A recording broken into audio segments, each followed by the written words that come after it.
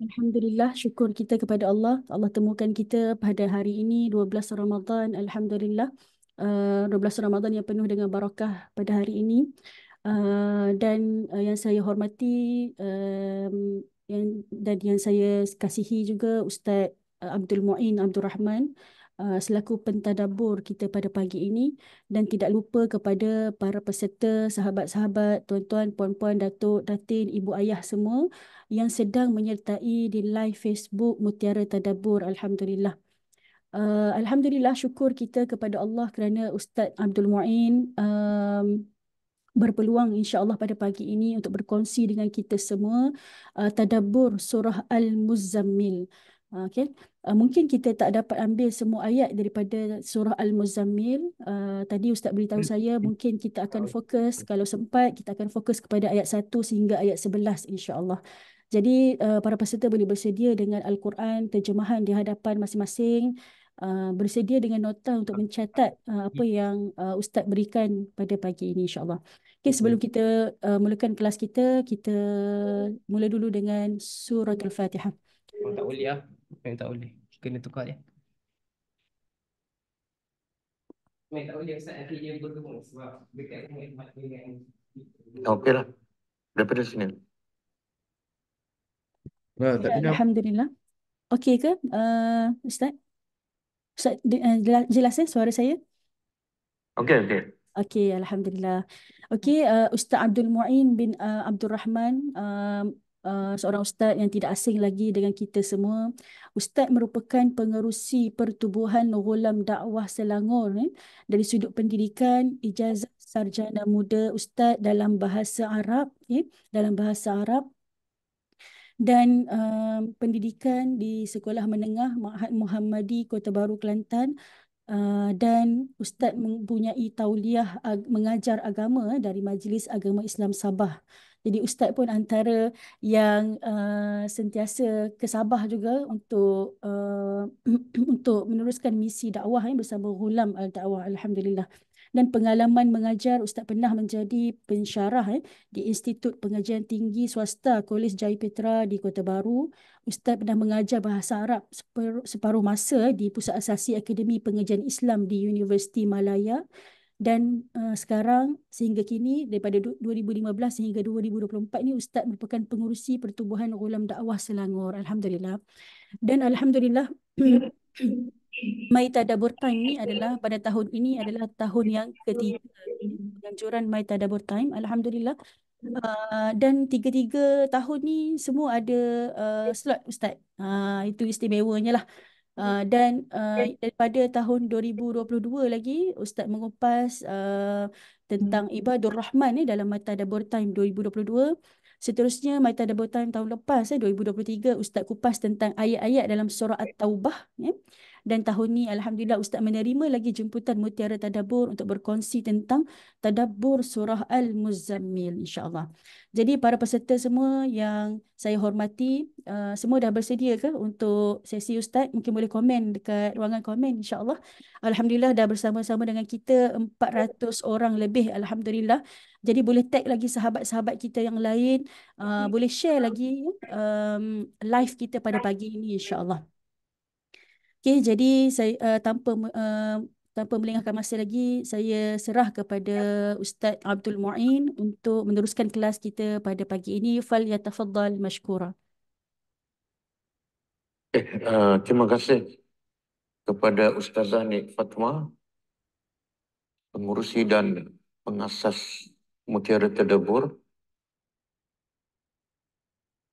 Uh, sidang penonton yang dirahmati Allah, Subhanahu wa taala. Oh, tak pakai road kan untuk sedap suara pergi. Uh, insyaallah insyaallah pada pagi ini uh, kita akan sama-sama berkongsi hmm? beberapa al-ibar pengajaran-pengajaran al-mustafadah yang diambil faedahnya min surati al-muzammil daripada surah Al-Muzammil. Okey, surah Al-Muzammil ni antara surah yang awal turun kepada Nabi kita sallallahu alaihi wasallam. Bahkan yang terawal lah selepas surah Al-Alaq.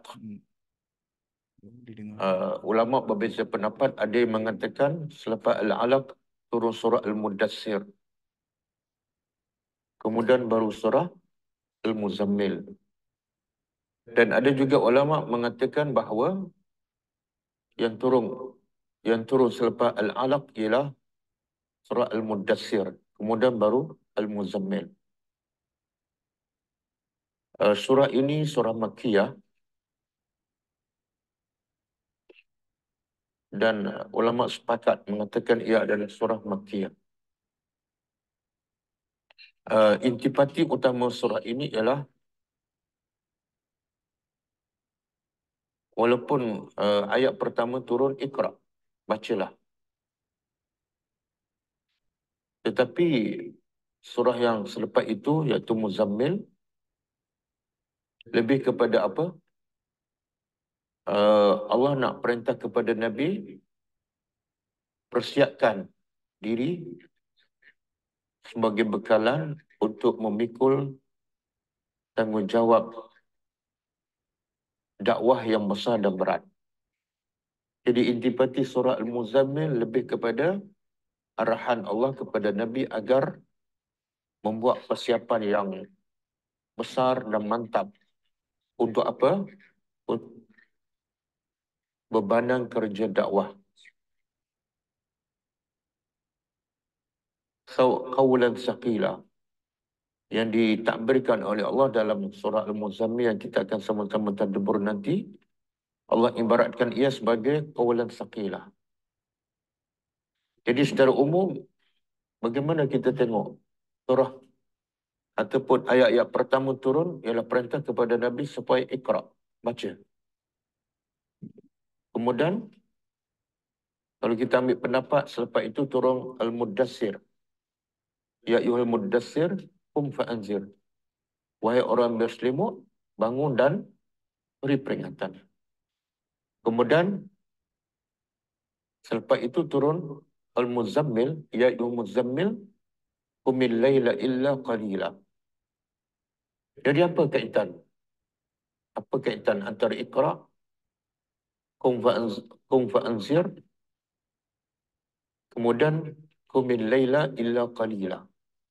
Apa kaitannya? Uh, bila Allah perintah pada Nabi dalam ayat pertama ikra, maksudnya apa? Allah perintah supaya Nabi belajar dan belajar dan memahami tentang apa? tentang Allah, tentang uh, tanda-tanda kebesar Allah. Dan supaya akhirnya Nabi betul-betul mengabdikan diri kepada Allah, mentauhidkan Allah dan beribadat hanya kepadanya. Jadi daripada ayat pertama, perintah supaya Nabi belajar. Bukan sekadar baca. Sebab ikrak ni, bila dalam bahasa Arab ke ataupun bahasa apa sekalipun, baca sesuatu sehingga kamu faham. Tidak mungkin baca arahan daripada siapa saja baca walaupun tak faham. Tidak ada mana-mana bahasa sekalipun bila sebut baca maksudnya adalah baca sampai faham. Jadi ayat pertama Allah perintah supaya Nabi berilmu. Dan ilmu yang paling penting ialah ilmu ma'rifatullah. Kenal Allah. Kerana Allah daripada situlah manusia akan setelah mengenali Allah dari daripada situ manusia akan mentauhidkan Allah dan tidak mensyirikkannya dan seterusnya Allah meng, uh, manusia akan beribadat hanya kepada Allah. Kemudian turun ikut pendapat yang mengatakan selepas itu turun ya ayuhal mudassir wahai orang berselimut kum fa'anzir bangun dan beri peringatan. Mana beri peringatan apa? Daripada yang kamu baca awal tadi, ikra. Mustahil untuk kita bagi peringatan apatah lagi tentang Tuhan, tentang azab Allah tanpa kita berilmu. Mustahil. Sebab tu kum fa'azir turun selepas ikra.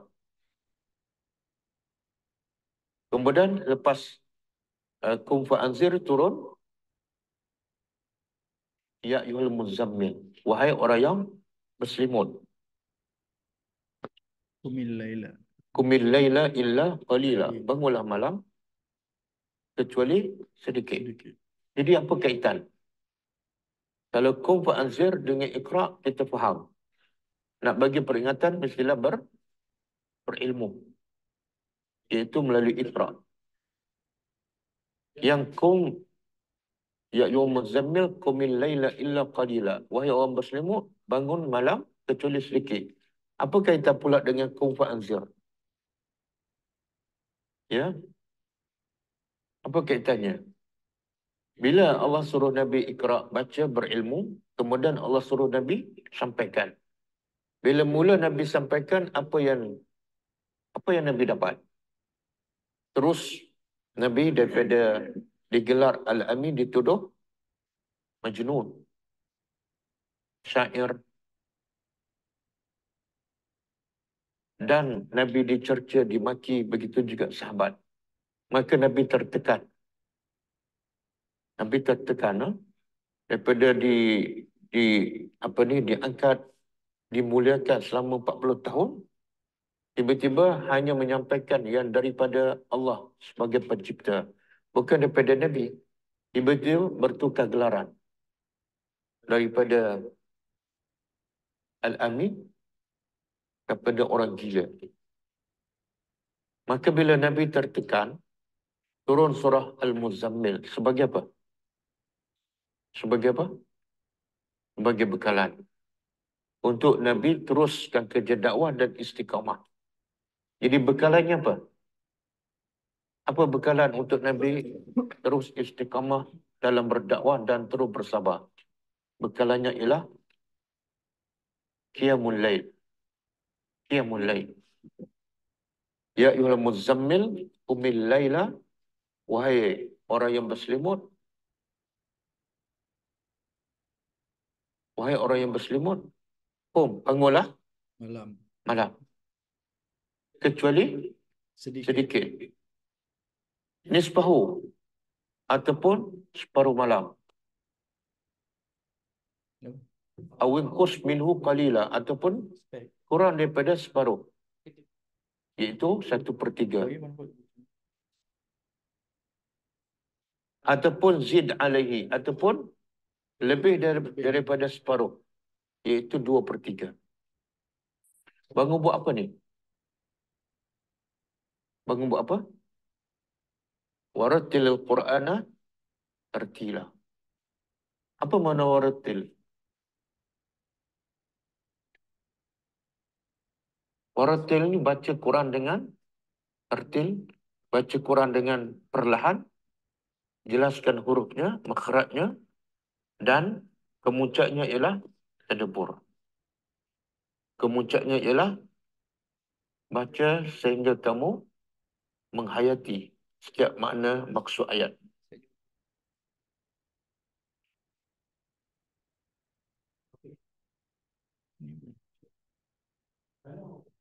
Nak macam ni boleh.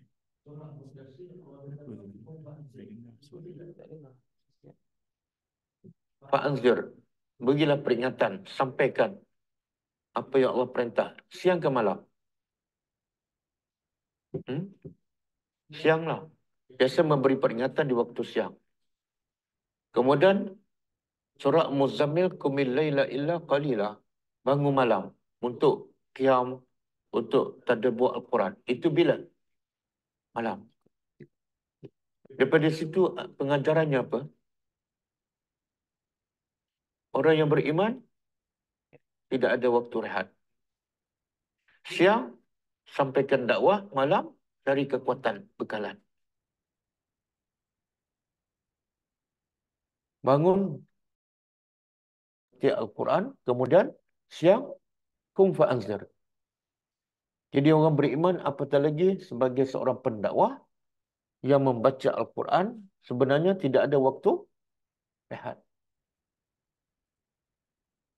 Sebab tu ada riwayat mengatakan Aisyah uh, Khadijah radhiyallahu anha berkata kepada Nabi, "Qad madha waqtu an-naum war-raha wa hanal waqtul masyaqqah."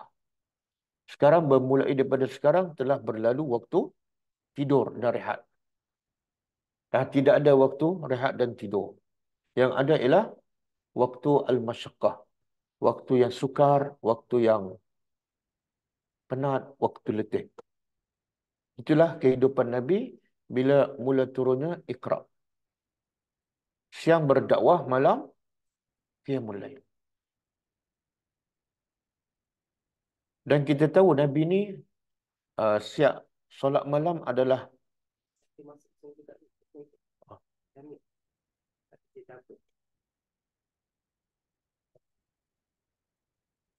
Ada masalah. Okey.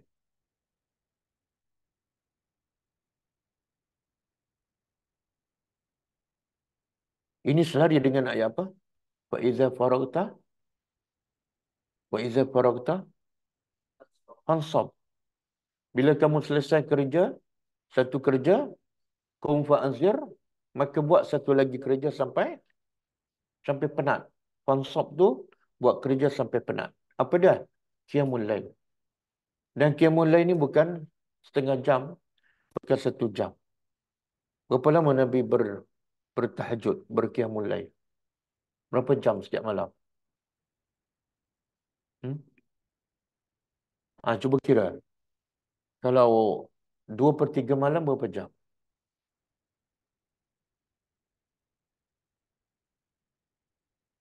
Nak tahu bagi daripada waktu maghrib sampai waktu subuh. Berapa jam?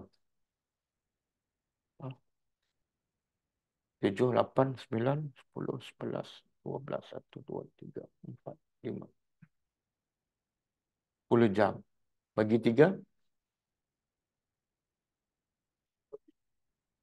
Tiga poin tiga. Jadi kalau dua per tiga malam, Nabi mula bangun malam pukul berapa? Hmm? 6 jam. Lebih kurang 6 jam Nabi bangun malam. Ataupun separuh, kalau separuh, mana 5 jam setengah. Kan?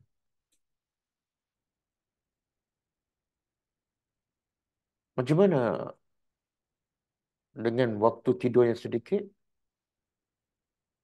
kemudian malam pula solat dan berdiri sampai bengkak kaki, kemudian besok pula pergi berdakwah. Dari, dari mana Nabi, dapat kekuatan? Hmm?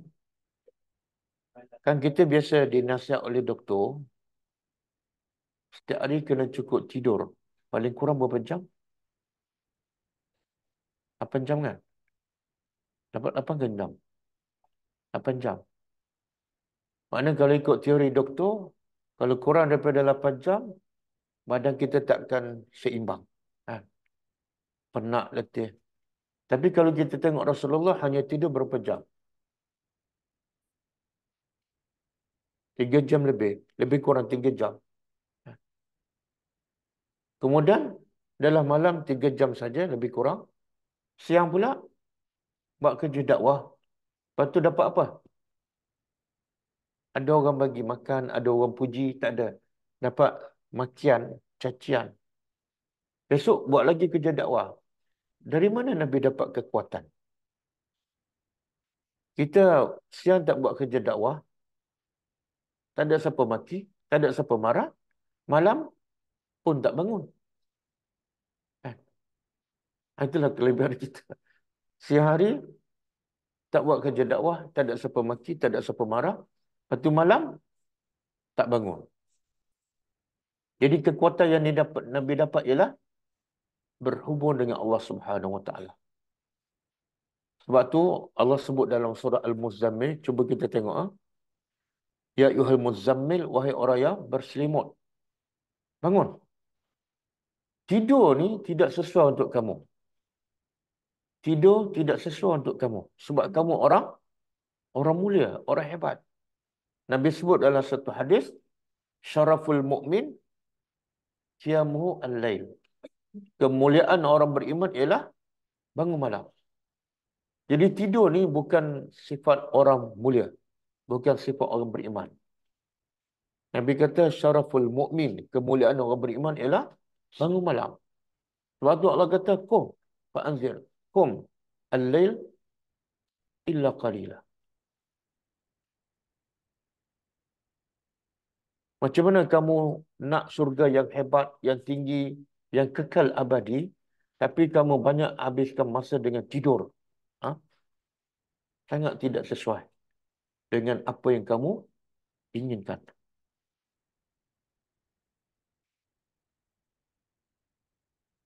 Berapa lama ni Nabi bangun malam? Berapa lama? Ya. Yalah, setiap malam tu lebih kurang 6 jam, 5 jam kan? Hatta Nabi solat tarawih pun daripada tengah malam sampai subuh. Uh, tempoh berapa lama ni? 23 tahun. Tempohnya 23 tahun.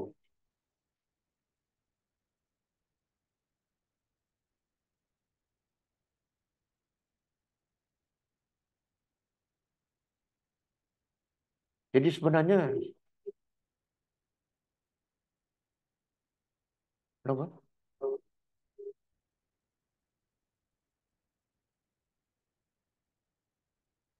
Sebenarnya kekuatan manusia ni adalah bergantung kepada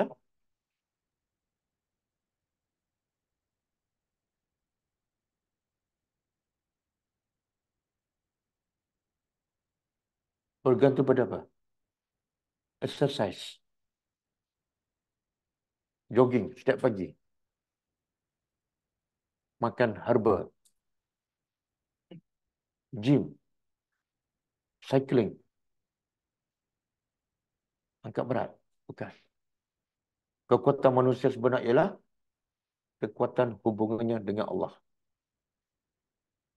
Orang paling kuat fizikal dan rohaninya ialah orang yang sentiasa berhubung dengan Allah Subhanahu Wa Taala. Sebab tu dalam satu hadis Nabi kata apa? Al-mu'min al-qawiyyu khairun wa ahabbu ila Allah minal mu'min ad-da'if. Yang maksudnya mukmin yang kuat lebih baik dan lebih dicintai oleh Allah daripada mukmin yang lemah. Apa maksud mukmin yang kuat? Kuat apa? Iman. Ha. Allah sebut mukmin ha?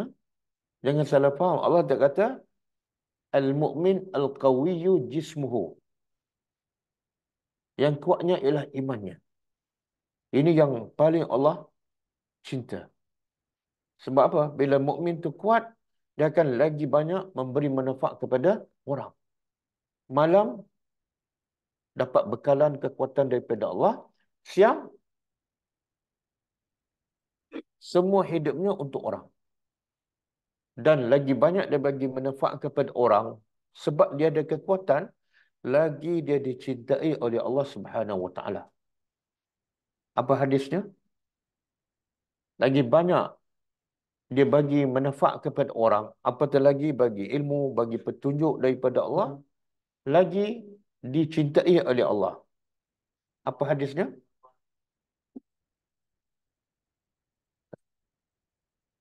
Ahabbun nasi ila Allah anfa'uhum. Orang yang paling Allah cinta ialah orang yang paling banyak memberi manfaat pada orang. Kita tak mungkin dapat banyak memberi manfaat pada orang apatah lagi ilmu kecuali kecuali apa? Kita ada ilmu Iqra. Kita ada ilmu Al-Quran. Yang kedua, kita ada kekuatan bangun malam. Bila kita ada kekuatan bangun malam, kita akan lagi banyak memberi sumbangan manfaat kepada orang. Dan kitalah orang yang paling dicintai oleh Allah Subhanahu Taala. Yang jenis mengantuk je, malam pun tidur, siang pun tidur, dalam kelas pun tidur. Ini orang yang tak ada kekuatan, tak ada kemuliaan. Cuba bayangkan kalau dia asyik tidur, banyak mana dia boleh memberi manfaat pada orang? Ha? Tak ada. Betul tak? Dia tak. Masa belajar dia tak dapat ilmu. Sebab tidur. Tu bila nak pergi berdakwah tak ada kekuatan. Sebab tak bangun malam. Betul tak? Sebab itulah. Kekuatan bangun malam ni antaranya ialah menjadikan orang tu bila buat kerja dakwah, dia tak mengharapkan bantuan. Uh, dia tak mengharapkan bantuan manusia. dan dia tak mengharapkan imbuhan daripada manusia.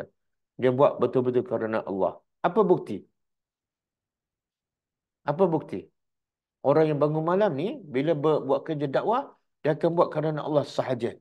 Tak ada untuk kepentingan duniawi, tak ada. Apa bukti?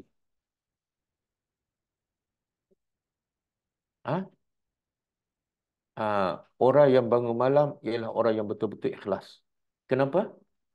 Sebab waktu malam tak ada siapa yang melihat, tak ada siapa yang tahu dia beribadat. Hanya orang ikhlas saja bangun malam.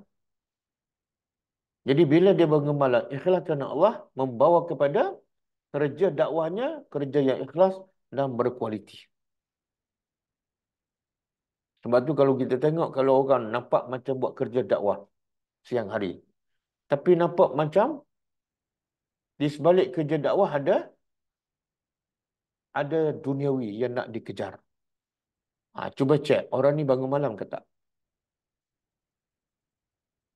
Kalau dia tak bangun malam, itulah sebagai kaitannya. Dia tidak ikhlas bila buat kerja dakwah. Orang buat kerja dakwah, dia ikhlas kerana dia sentiasa bangun malam. Okey. Okey. Lepas tu Allah kata apa? Auzid alaihi ataupun tambah lebih daripada separuh. Buat apa? Waratilil Qur'ana tartila. Baca Quran dengan apa makna tertil? Tertil ni kalau ikut bahasa Arab, waqra'hu ala tamahulin. Baca dengan perlahan. Tertil makna dia tamahul. Baca dengan perlahan dan baca dengan tabyin. Jelas. Jelas apa ni? Barisnya, hurufnya dan kemucapnya ialah supaya apa? Kenapa baca perlahan? Supaya dapat menghayati maksud setiap ayat. Cuba buka surah Al-Isra ayat 106. Surah Al-Isra ayat 106.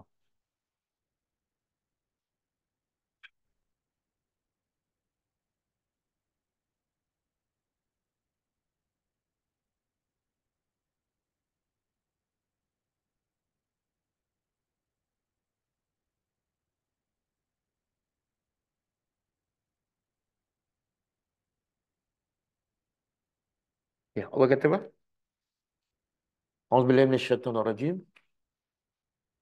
Wa Qur'anan faraqnahu litaqra'ahu 'alan nas 'ala muksin wa nazzalnahu tanzila.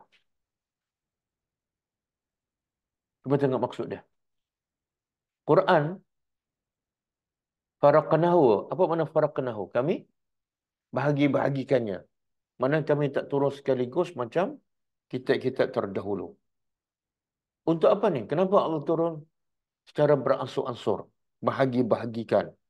Allah sebut sebab litaqra'u 'alan nas supaya kamu baca kepada manusia.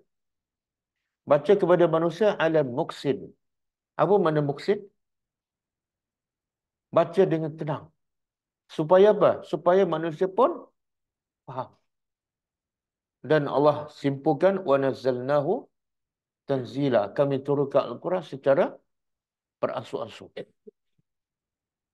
kalau ikut ayat surah Muzammil dan ayat uh, surah Al-Isra ayat 106 ni 06 jelas Quran diturunkan untuk apa? Quran diturunkan untuk apa?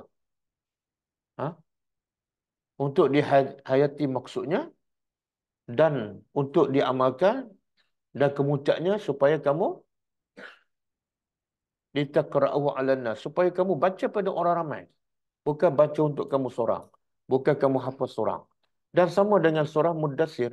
Kum lepas iqra kum fa anzir. Bagilah peringatan.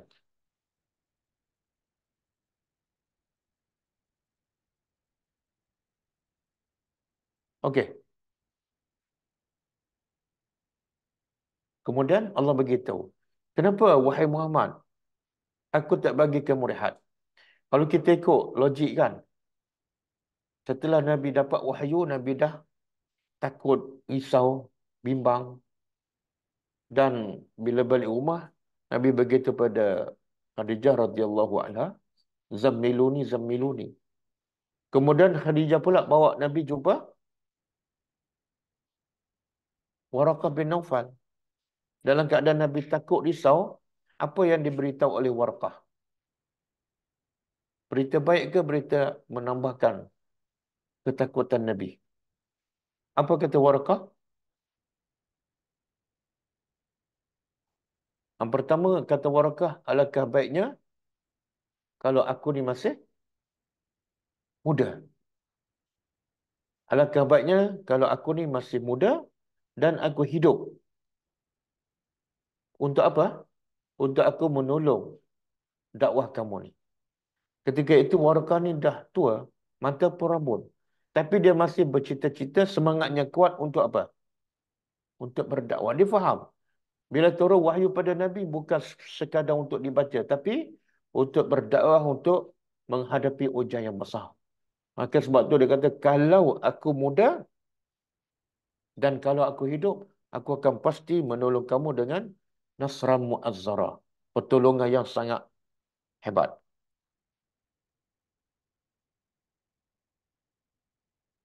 Dan daripada awal lagi Allah beritahu pada Nabi. Baca Pak Anzir.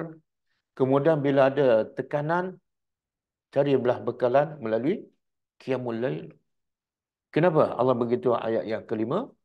Inna sanulqi alaika qawlan saqila. Sesungguhnya kami akan campak ke atas engkau qawlan saqila. Perkataan yang berat. Apa maksud perkataan yang berat? Quran lah. Tapi berat dari sudut apa tu? Hmm? Kalau sekadar nak betulkan tajwid berat tak? Tak. Kalau kalau sekadar baca nak khatam untuk dapat pahala berat tak? tak. Kalau sekadar nak hafal berat tak? Ha? Tak tak berat kan? Ada yang boleh hafal se dalam masa setahun, ada yang boleh hafal masa enam bulan. Yang berat tu sebab uh, hati ada masalah. Kalau budak fresh ni, dia boleh hafal 6 bulan, boleh hafal 30 juzuk. Menunjukkan, kalau setakat baca, nak hafal, nak khatam, bukan berat. Habis yang beratnya apa? Ni awal-awal lagi Allah kata, kamu kena buat persiapan yang mantap. Sebab kami akan campak kepada engkau kawalan sakilah. Awal-awal lagi. Apa yang berat? Ha? Untuk sampaikan.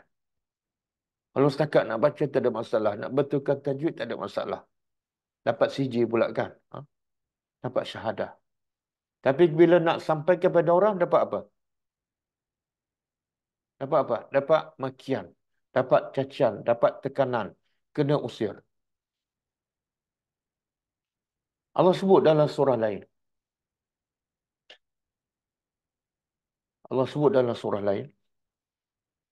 Apa dia?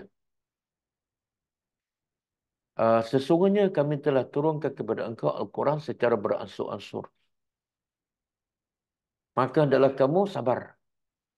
Hendaklah kamu sabar. Untuk apa? Lihukmi rabbika. Hendaklah kamu sabar dalam melaksanakan hukum Tuhan engkau. Jadi peringkat awal Allah kata kami turunkan Al-Quran. Tapi bila Allah perintah supaya sabar, Allah tak kata sabarlah dengan Al-Quran. Tak.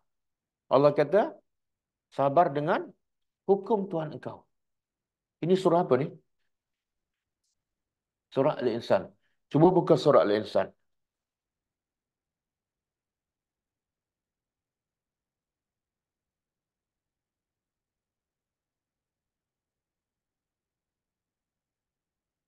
Ayat 23 dan 24. Surah Al-Insan ayat 23 dan 24.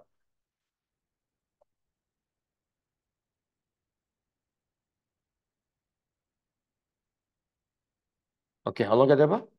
Inna nahnu nazzalna alaikal qur'ana tanzila. Sesungguhnya kami telah turunkan ke atas engkau Quran tanzila secara beransur-ansur. Lepas tu terus Allah perintah. Lepas kami turun Quran, Allah perintah apa? Fasbir. Logiknya, bila Allah turun Al-Quran, ya Nabi menunggu-nunggu kan? Lepas Allah kata kami turun ke Al-Quran, logiknya Allah kata apa? Bersyukurlah. Sebab Quran dah kami turunkan. Ataupun Allah kata, kami dah turun ke Al-Quran, bacalah. Ataupun kami dah turun Al-Quran, pandai-pandai kamu lah. Tak. Allah kata apa? Kami dah turun Al-Quran, maka hendaklah sabar. Menunjukkan apa tu? Bila Allah perintah sabar, sabar ni bila? Bila kita kena sabar? Ha? Bila ada ujian. Bila perkara tu berat. Kan? Itu yang dimaksudkan Quran adalah kawalan saqilah. Sebab kawalan saqilah kamu kena fasbir. Hendaklah sabar. Kemudian Allah tak kata ada sabar kepada Al-Quran. Fasbir lil Quran. Tak. Fasbir li hukmi rabbika. Maksud apa tu? Allah nak beritahu dalam Al-Quran penuh dengan hukum hakam Allah. Ada perintah, ada larangan, ada nasihat, ada pengajaran, ada tauladan daripada Nabi-Nabi dan umat-umat terdahulu. Jadi semua tu perlu kepada kesabaran. Nak baca, nak faham, nak amal, dan kemuncaknya nak sampaikan. Yang paling berat ialah bila kita mula nak sampaikan. Sebab itulah orang kafir pun yang paling orang kafir tak suka pada. Bila kita bila kita baca dan faham. Kalau sekadar baca, orang kafir tak ada masalah. Tapi bila kita baca dan faham, orang kafir ada masalah. Sebab dia tahu, orang beriman bila dia faham, dia akan buat sesuatu. Dia akan kongsikan apa yang dia faham. Dan itu akan memberi kesan kepada mereka. Okey? Sebab lepas tu, lepas tu Allah kata pada dalam surah Al-Insan. Wala tuti' dan janganlah kamu taat kepada mereka. Satu sabar. Yang kedua, jangan taat. Jangan dengar arahan mereka. Siapa mereka ni? Asiman. Orang yang buat dosa memang tak suka kau cakap pasal Quran. Kenapa? Sebab Quran suruh mereka berhenti daripada buat maksiat. Mereka tak suka dan mereka akan bagi amaran pada kamu. Mereka akan dorong. Dah cukup. Berhenti berdakwah. Berhenti cakap pasal maksiat. Pasal ciri. Maka Allah kata apa? Wala. Wala tuti' Jangan dengar. Jangan patuh. Dan kafura. Orang kafir pula akan halang kamu. Supaya kamu berhenti daripada mengajak orang mentauhidkan Allah. Maka Allah kata, wala tuti' Jangan taat. Ini maksud dia, kawalan, kawalan saqila. Jadi tengok, daripada awal lagi Allah dah betulkan cara Nabi berfikir. Bila Allah bagi Al-Quran. Sebab itulah, uh, tak ada bila Nabi dapat Al-Quran, ataupun sahabat dapat Al-Quran, tak ada dalam pemikiran mereka untuk apa?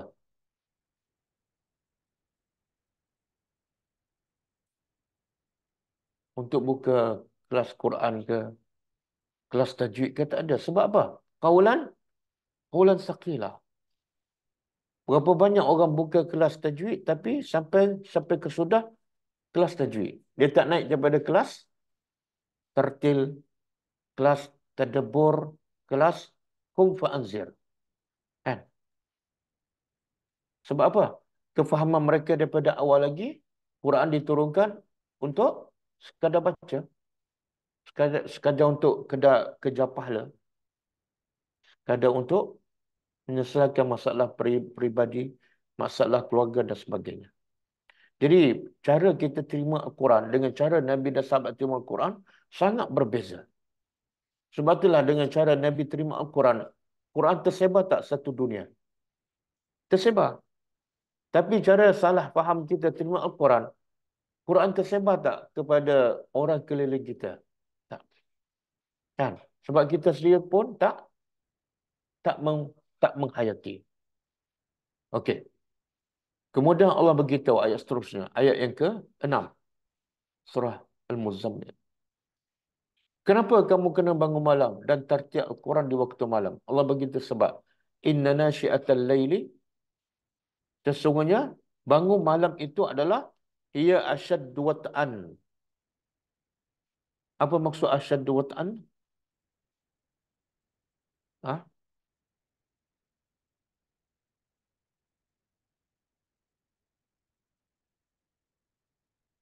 Wata'an ni masyakkah ataupun kulfah bebanan. Dia lebih mudah terkesan.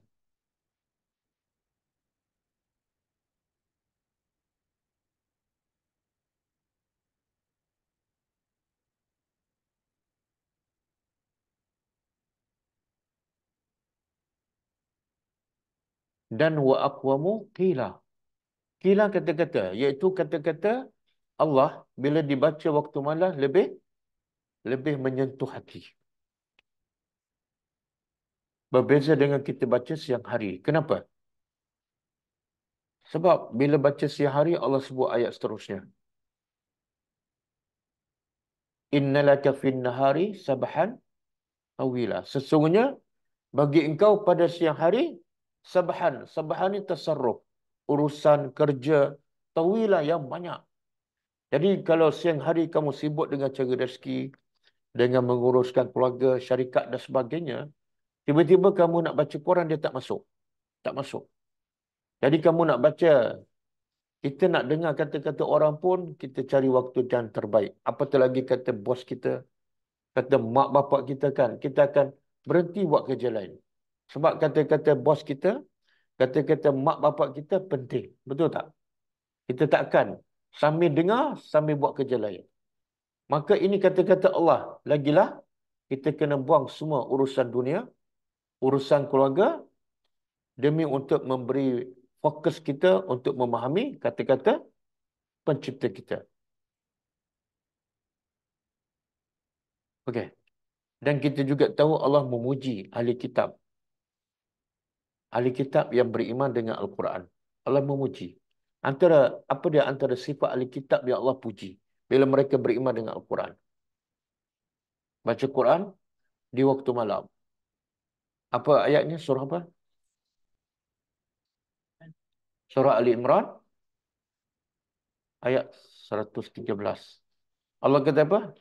Laisu sawa Laisu sawa. Mereka tu tak sama. Ahli kitab tak sama. Ada yang bila datang Quran mereka kufur, mereka menentang. Dan ada segelintir yang ummatun qaimatun, satu golongan yang yang beriman, istiqamah di atas iman. Dan Allah puji apa sikap mereka ni? Yatluna ayatillah ana al-lail. Mereka sentiasa baca ayat Allah di waktu malam. Jadi saranan Allah kepada Nabi dan kepada kita semua jarang kita dilaksanakan. Tak ramai yang baca Quran di waktu malam. Sebab apa? Kenapa tak ramai sangat baca Quran di waktu malam? Kalau baca Quran biasa siang hari. Apa Quran siang hari.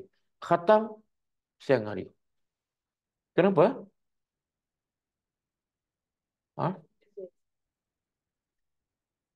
Sebab mindset kita baca Quran bukan nak faham. Baca Quran kita nak khatam. Baca Quran nak pahala. Jadi bila nak khatam, nak pahala, tak perlu malam. Yang baca Quran di waktu malam ialah untuk orang yang waratil Quran tartila. Ya Allah mencela mereka yang tak tadabbur. Afala yatadabbarun al-Quran am ala qulubin? Jadi kalau dia takut dicela oleh Allah, dia akan usaha untuk tadabbur. Dan waktu terbaik untuk tadabbur ialah waktu malam. Jadi jom kita mulai mulai daripada sekarang sempena dengan bulan Ramadan kita bagi masa untuk menghayati fokus kepada ayat Allah di waktu malam.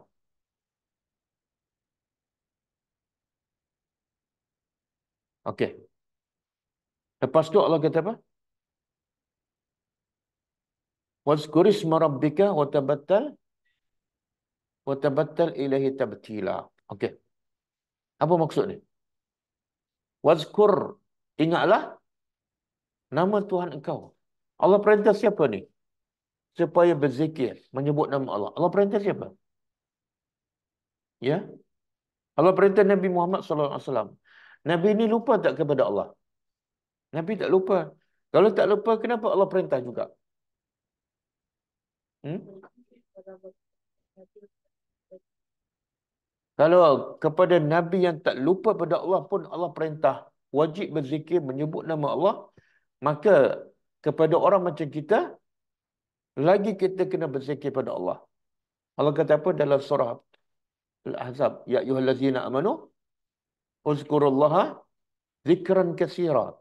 Kalau kamu orang beriman, wahai orang beriman, hendaklah berzikir pada Allah dengan zikir yang banyak. Wasabbihuhu dan sentiasa mensucikannya di waktu pagi dan petang. Kalau kamu orang beriman, jangan zikir sikit. Dan Allah bagi tahu juga penyebab manusia lupa pada Allah. Susah nak berzikir. Apa dia?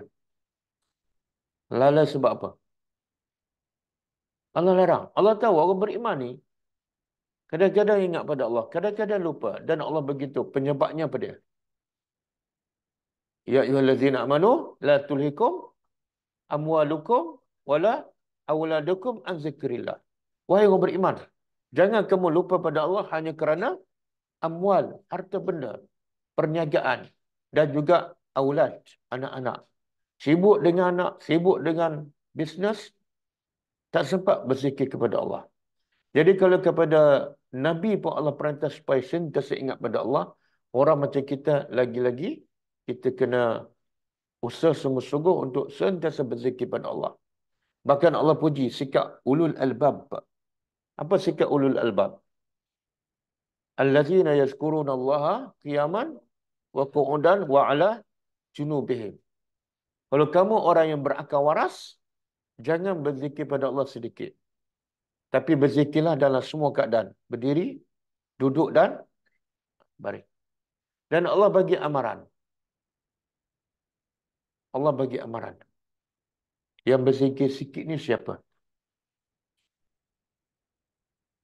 Orang beriman Allah perintah uzkurullah zikran kathira. Kalau kamu orang beriman kena zikir pada Allah banyak. Sebab itulah bukan zikir lepas solat saja. Kalau zikir lepas solat itu bukan banyak. Kalau zikir pagi dan petang saja bukan banyak. Habis yang banyak apa? Sentiasa semua munasabah dalam kehidupan kita setiap hari ada tak Nabi ajar zikir? Ada. Semua keadaan. Nak tidur ada zikir, bangun tidur ada zikir. Nak masuk bilik air ada zikir, nak keluar bilik air ada zikir.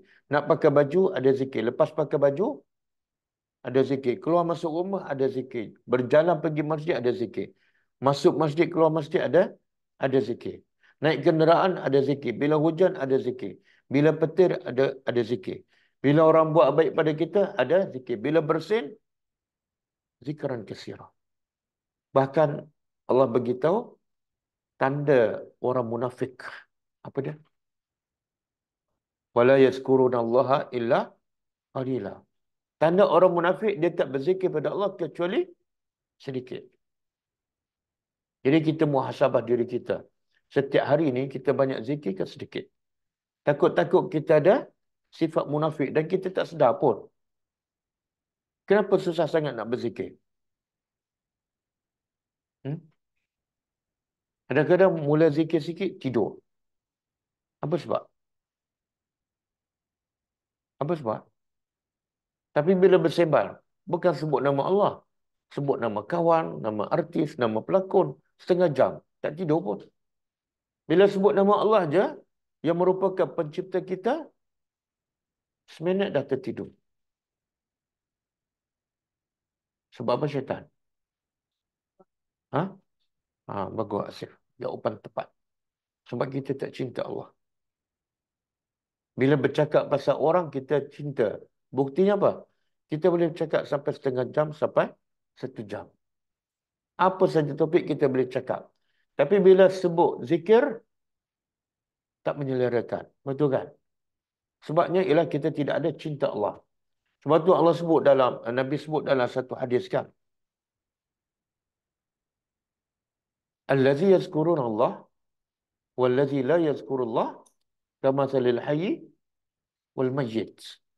Orang yang berzikir, sentiasa berzikir pada Allah dan orang yang tak berzikir pada Allah sama seperti orang hidup dan mati. Yang tak berzikir pada Allah ni sebenarnya hatinya dah mati.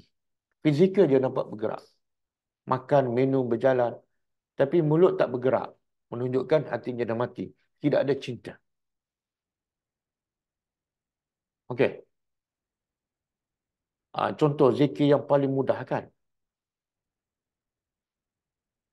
Kalimatan ni khafifatan ni ringan je.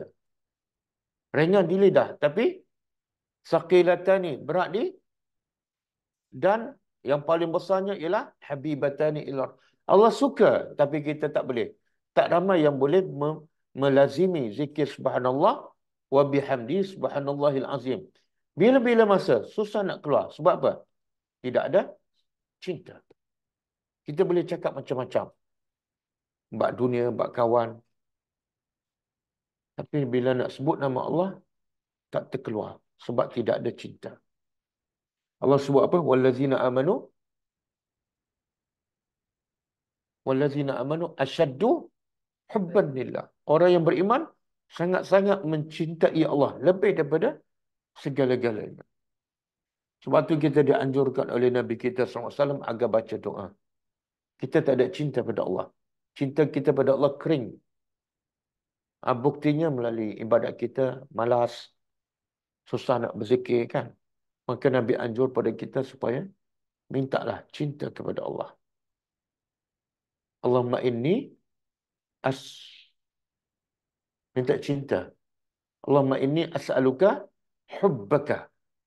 Ya Allah, sesungguhnya aku mohonkan cinta engkau. Sebab aku sekarang tak cinta.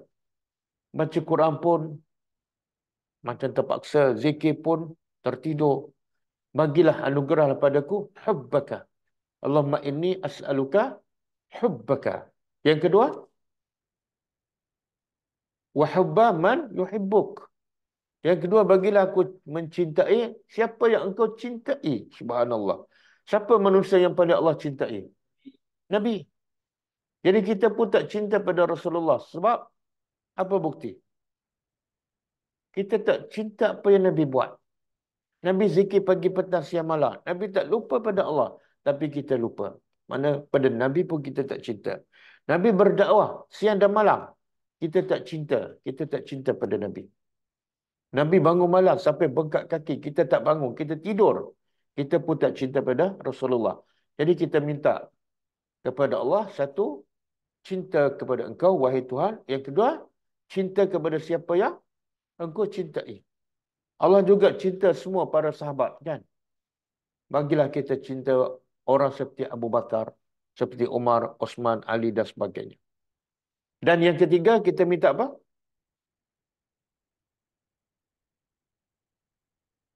Hubba masakin doa lain. Hubba amalin yukarribuni ila hubbika. Subhanallah.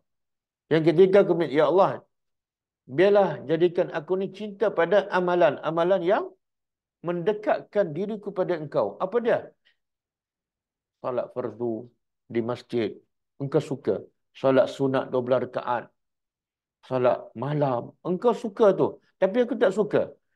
Maka berilah bukalah pintu hati aku supaya cinta pada amalan tu. Zikir pagi petang, engkau suka tapi aku malas. Bukalah pintu hatiku supaya cinta amalan tersebut. Banyak tak amalan-amalan yang boleh mendekatkan kita kepada Allah? Banyak. Apa dia antaranya? Ha? Cinta orang miskin. Allah suka. Allah suka. Ha? Aku ni bila tengok orang miskin tak lalu je kan. Tak nak berkawan.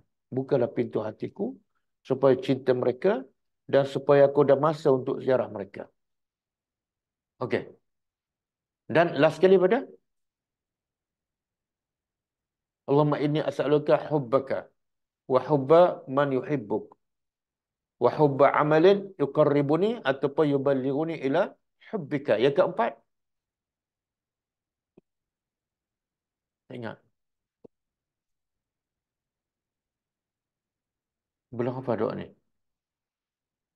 waj'al hubbaka ahabba ilayya min nafsi wa ahli wal ma'il barid. Ya Allah, jadilah cinta aku kepada engkau lebih daripada cintaku pada nafsi diriku. Yang kedua, wa ahli. Lebih daripada cintaku pada ahli keluargaku. Dan jadikan cinta aku pada engkau lebih daripada cinta aku kepada al-ma'il barid. Air yang sejuk. Kita bila dah dahaga sangat, dapat minum air sejuk, seronok tak? Seronok tak? Seronok. Mana lebih seronok? Dahaga dapat minum air sejuk dengan kita berzikir. Mana lebih seronok? Ha? Cakap benar. Kalau kita cinta Allah, cakap benar. Ha? Kita lebih seronok berzikir, uh, lebih seronok minum-minum air kan? Oh, lega. Tapi masa berzikir tak sebut, oh lega. Tak. Terus berzikir, terus mengantuk.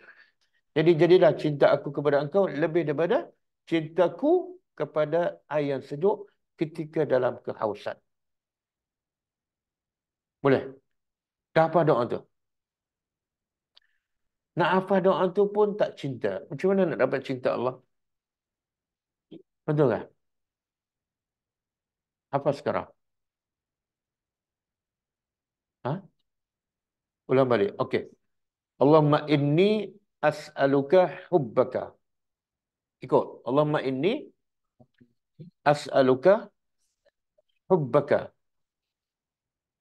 Wa hubba man yuhibbuk. Wa hubba amalin yukarribuni ila hubbika. Waj'al hubbaka ahabba ilayya min nafsi wa ahli wa minal ma'il barid. Ulang.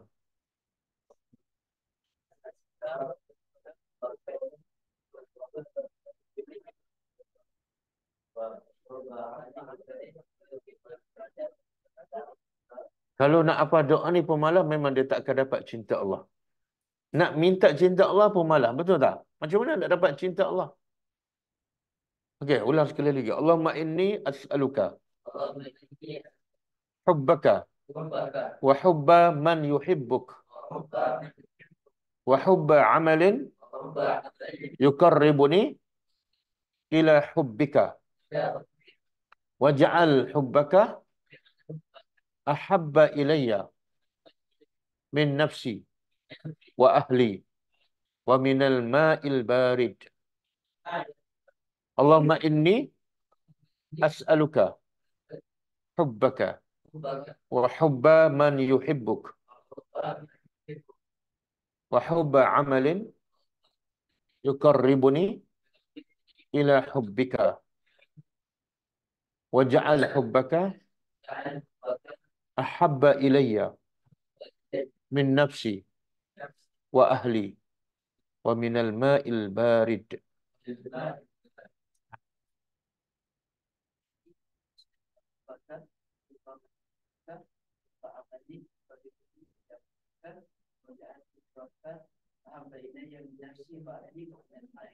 Masya Allah, Barakallahu fiqh. Kalau kita letak cinta Allah yang pertama, kita akan hafal doa ni. Sebab Allah akan bagi cintanya kepada kita berdasarkan apa? Setakat mana kita bersungguh-sungguh untuk dapat cinta dia. Okey.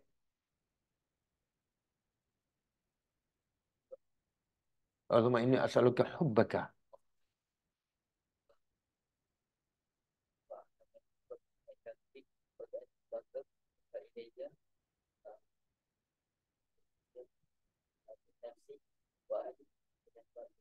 Masya Allah, barakallahu fiik. Okey. Yang lain Ustaz akan tanya lepas ni. Oh, lega.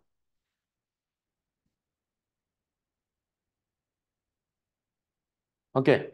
Tengok ah, kita balik pada ayat kita. Waskur isma rabbika wa tabattal ilahi tabtila. Dan sebutlah nama Tuhan engkau. Walaupun engkau Nabi. Kena sentiasa sebut nama Tuhan engkau. Dan wa tabattal ilahi tabtila. Apa mana? Apa pula makna wa tabattal? Ha?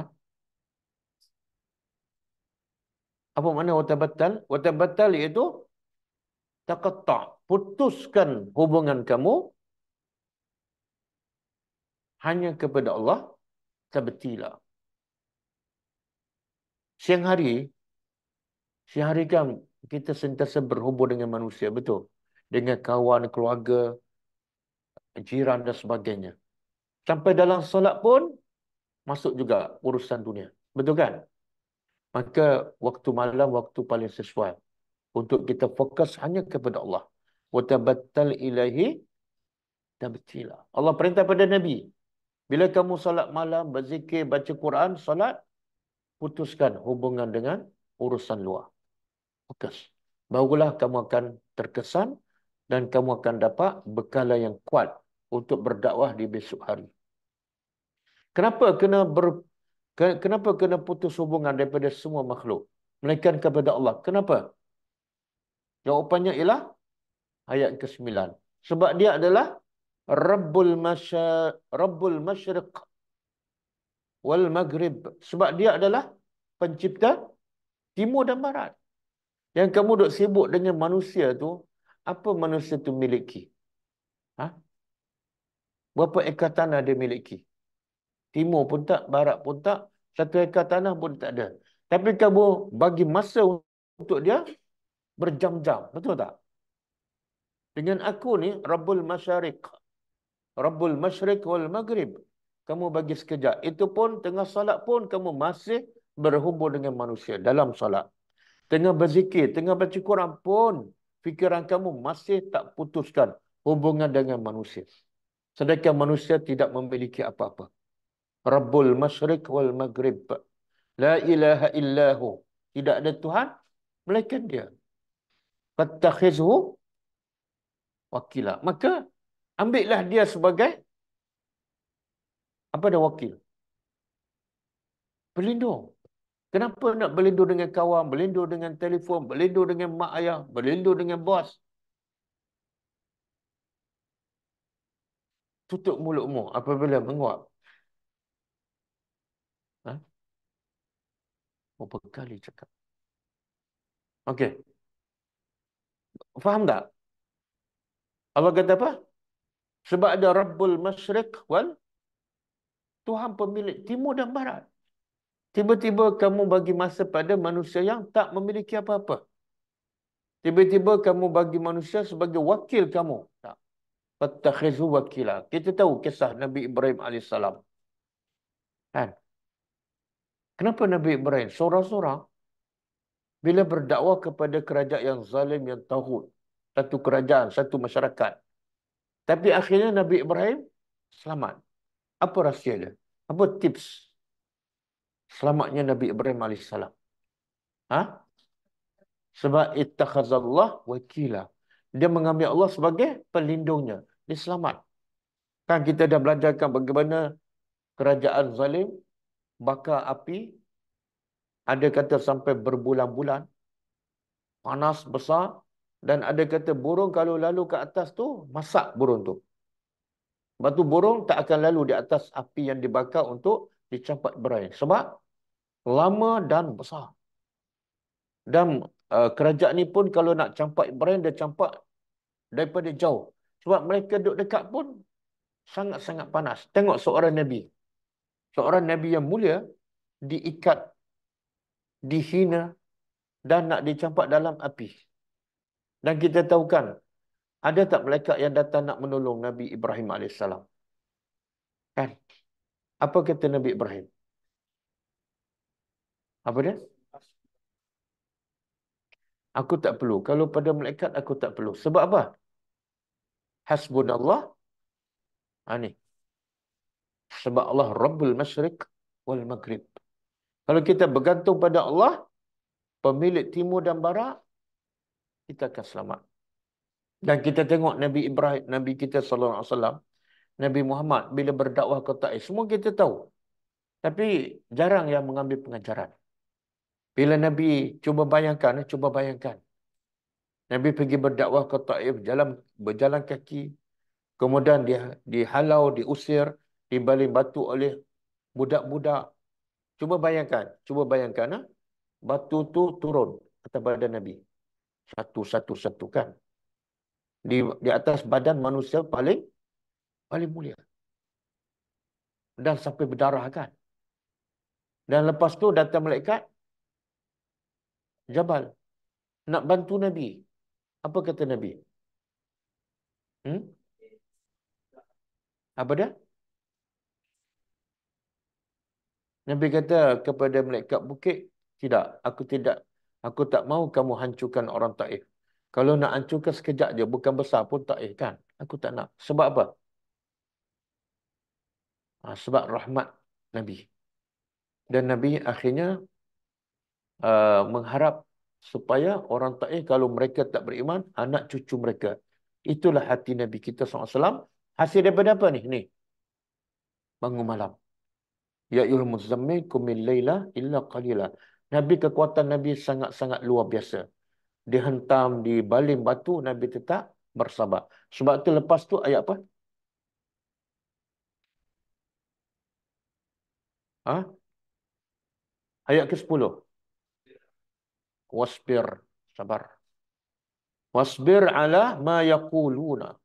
Sabarlah di atas apa yang mereka ucapkan.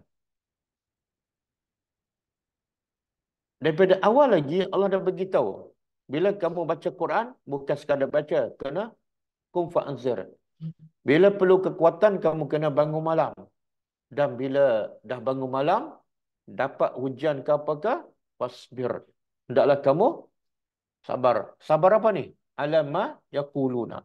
Kadang-kadang manusia tak tahan dengan ucapan kata-kata. Betul tak? Orang kata apa? Lidah lebih tajam daripada pedang pisau. Kadang-kadang orang tahu kita dengan pisau, dengan orang maki hamun kita, mana kita lebih terkesan? Orang bagi sebiji penampar, dengan orang terkata bodoh, gila, mabuk, mana lebih terkesan? Kan? Tekanan dari segi mental. Kan? Kadang-kadang dia tak boleh lupa. Maka Allah kata apa? Wasbir alama Yakuluna. Sabar di atas apa yang mereka tengok Allah guna fi'il mudhari. Yakuluna. Maksud apa? Orang musyrikin Mekah, musuh-musuh akan sentiasa 24 jam. Mereka tak akan berhenti untuk memaki kamu, mencela kamu. Maka kamu kena jauhkan. Dan wahjurhum. Apa dia wahjurhum? Dan tinggalkan mereka. Tapi dengan cara yang Subhanallah. Contoh tadilah. Antara contohnya bila Nabi pergi ke Taif. Orang baling batu, orang maki, orang usir. Nabi tinggal dengan baik ke Nabi maki juga? Baik. Macam mana Nabi boleh sabar dengan orang kafir yang terang-terang menghina Nabi, terang-terang membaling batu sampai berdarah. Tapi Nabi boleh sabar. Walaupun mereka itu adalah orang kafir. Maka macam mana kita ni tak boleh sabar dengan sesama Islam. Sama kawan kita, sama sahabat kita, sama kadang-kadang suami tak boleh sabar dengan isteri. Isteri tak boleh sabar dengan suami. Mak bapak tak boleh sabar dengan anak. Padahal mereka tu semua Islam. Nabi ni sabar dengan orang Taif. Taif ni orang kafir. Betul? Dan orang Taif baling batu sampai berdarah. Kenapa kita tak boleh sabar dengan sesama kita? Jadi pengajaran juga ah pengajarannya Allah perintah pada Nabi kalau orang kafir maki kamu, hina kamu, apa tindakan kamu? Wahjurhum hajran jamila. Tapi sekarang berlaku tak? Bila orang kafir buat apa-apa, kita wahjurhum hajran jamila. Ataupun kita kita maki kita apa kan? Dalam kita tak berdakwah. Betul tak? Nabi dah berdakwah dia kena maki pun Allah perintah wahjurhum hajran jamila. Kita berdakwah pun tak, Quran pun tak faham, amal pun belum tentu betul. Tiba-tiba bila orang marah, marah pada kita, kita tidak ada pulau mereka dengan hajran jamila. Kita maki pula. Okey. Lepas tu ayat terakhir wazarni wal mukazzibina. Habis? Nak buat apa wahai Tuhan dengan orang-orang musyrikin Hidup maki aku, mendustakan aku, mengatakan aku gila. Nak buat apa? Allah kata, wazarni. Ah, serah pada aku. Itu urusan aku. Wazarni. Biarkan aku. Siapa ni? Wal mukazibin. Orang-orang yang mendustakan engkau, mendustakan Al-Quran, itu urusan aku. Kerja kamu apa dah? Ikra. Kerja kamu apa dah? Kum fa'anzir. Kerja kamu apa dah? Kumil layla illa qalila. Kerja kamu apa dah? Wasbir. Kerja kamu apa dah? Wahjurhum ajran jamila. Kerja mengazab, membalas. Wazarni wal mukazzibina ulil na'mati wa mahilhum qalila. Okey. Boleh eh? Jelas tak? Jadi antara pengajaran daripada surah Muzammil ni apa dia?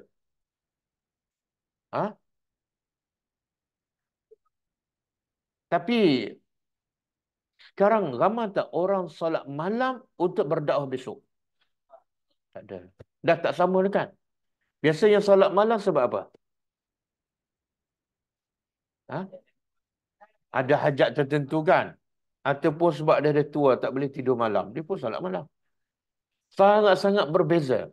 Allah suruh Nabi dan sahabat malam untuk berdakwah besok. Sebab itulah solat, solat malam. Bukan sebarang solat malam. Solat malam kena warattilil Quran tertila. Sebab besok ada tanggungjawab besar dan berat. Nampak tak? Jadi pengajaran yang paling besar daripada surah ni ialah Quran diturunkan untuk kita baca, faham dan sampaikan. Sampaikan. Dan proses itu adalah kaulan saqilah.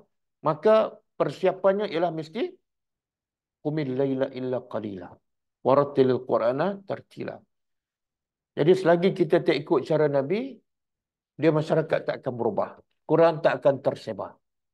Ha? Selagi kita tak ikut cara Nabi, masyarakat tak akan berubah. Quran tak akan ter tersebar. Akhlak manusia tak akan menjadi akhlak Al-Quran. Sebagaimana ulama mengatakan zaman Nabi, Al-Quran yang bercetak tak ada. Di di masjid Nabi tak ada rak yang penuh dengan Al-Quran. Tak ada satu pun. Tapi yang ada apa dia? Yang ada apa dia? Al-Quran yang berjalan dan berada di mana-mana. Iaitu dalam bentuk peribadi sahabat. Bila pergi pasar, nampak akhlak Al-Quran. Bila dalam masjid, nampak akhlak Al-Quran. Orang kafir ditawan dalam masjid, diikat dalam masjid. Akhirnya masuk Islam sebab melihat, bukan melihat Quran di rak dalam masjid, tak. Tapi melihat akhlak sahabat dalam masjid. Jadi akhlak Al-Quran ada di mana-mana zaman Nabi. Walaupun tidak ada Quran bercetak. Tapi sekarang Quran bercetak ada di mana-mana dan sampai berdebu. Tapi susah nak mencari manusia yang berakhlak Al-Quran. Wallahu a'lam. Okey, kita buka kepada mungkin ada soal jawab.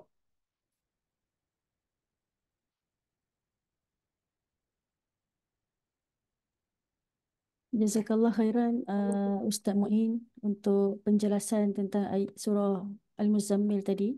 Ustaz kupas tadi sehingga ayat ke-11 Alhamdulillah. Uh, sekarang uh, kita buka sesi Q&A jika ada yang nak bertanya soalan. Okay. Terima kasih semua yang menulis nota di ruangan komen. Uh, Puan Intan Khalidah menulis pengajaran daripada surah Al-Muzammil ni. Quran diturunkan untuk kita baca, faham dan sampaikan. InsyaAllah. Sebab itu semasa bulan Ramadan ini apabila kita membaca Al-Quran, kita cuba untuk tadabur dan kita sebarkan. Kita share. Ya, kita share kepada ahli keluarga kita, kita share di media sosial dan sebagainya insyaAllah. Okay, jika ada apa-apa soalan boleh type di ruangan komen insyaAllah. Boleh type dulu di awal tu soalan. Eh. Soalan lepas tu type soalan tersebut supaya saya tak uh, saya boleh uh, apa bezakan eh, dengan komen. InsyaAllah.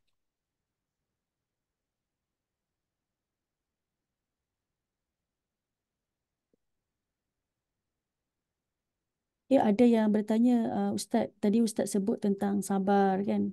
Uh, macam mana nak urus sabar ni Ustaz? Uh, ada yang bertanya tentang sabar. Mungkin Ustaz nak jawab sikit ke insyaAllah?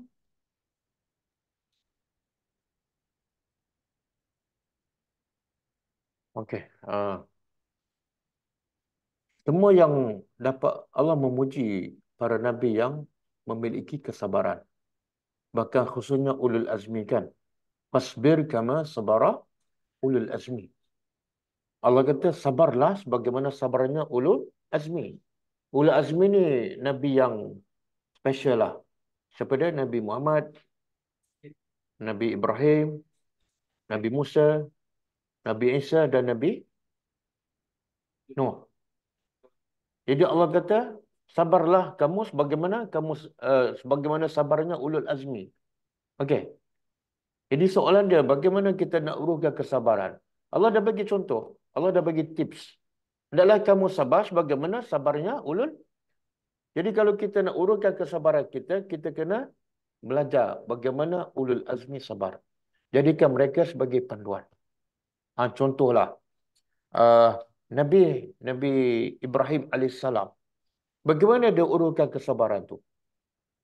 Bagaimana dia boleh sabar berdakwah dimaki kemudian ditangkap dan dicampak dalam api? Bagaimana dia boleh sabar bila diperintah oleh Allah meninggalkan anak di tengah padang pasir dengan isterinya? Sedangkan sekian lama dia menunggu dapat anak, dapat anak pula yang tunggal, diperintah pula supaya berpisah. Bagaimana Ibrahim dapat menguruskan kesabarannya setelah berpisah dengan anak yang lama? Dia rindu nak jumpa, bila sampai nak jumpa, Allah perintah pula. Allah perintah sembelih. Bagaimana? Ha, iaitu Ibrahim menganggap semua yang anak ke isteri itu adalah anugerah Allah. Allah nak bagi pada siapa yang dia nak dan Allah tarik daripada siapa yang dia tak nak. Tapi yang lebih mahal daripada apa yang Allah beri ialah yang lebih mahal daripada apa yang Allah bagi pada kita ialah redha Allah. Jadi letakkan redha Allah adalah yang pertama. Kalau kita letak redha Allah yang pertama, insya-Allah kita akan sabar. Sebab tu Nabi kata dalam satu hadis, Inna Allah idza ahabba qauman ibtalahum. Sesungguhnya bila Allah cinta pada seseorang, Allah akan uji mereka. Lepas tu, hmm? Faman Faman radya falahu Siapa reda dengan ujian, dia dapat apa? Reda. Tengok. Motivasi ya. Contohlah Allah bagi masalah apa ni? Anak meninggal kan? Kita pun reda dengan anak meninggal. Kita akan dapat apa? Reda Allah. Mana lebih mahal? Reda Allah dengan anak. Reda Allah. Betul. Mana lebih rugi? Terlepas reda Allah dengan dapat anak. Anak dapat. Tapi reda Allah tak dapat. Mana kerugian yang paling besar? Boleh faham? Dan kalau kita reda dengan takdir Allah, kita dapat yang lebih mahal daripada barang yang hilang. Iaitu reda Allah. Kemudian anak tu kita akan dapat balik tak di surga? Dapat.